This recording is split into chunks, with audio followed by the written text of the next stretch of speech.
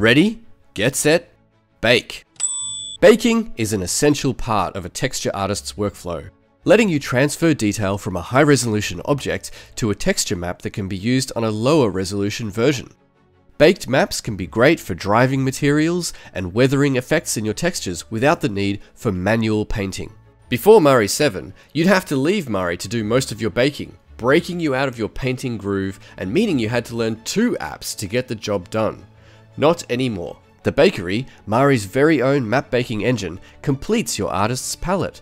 Use it to create a range of different mesh-based maps, such as ambient occlusion, curvature, and thickness, without ever leaving Mari. It's as simple as picking which recipe you want to bake and fine-tuning key properties like resolution and bit depth to your liking.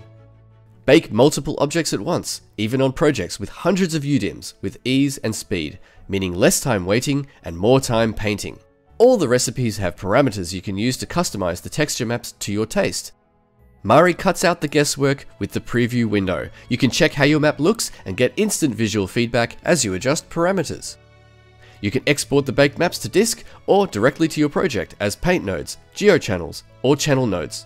Once you've decided, just go ahead and bake. With the bakery, you have a native solution for mesh map creation, streamlining your material creation and making Mari the only texture tool you'll ever need. For more information, check out learn.foundry.com slash Mari.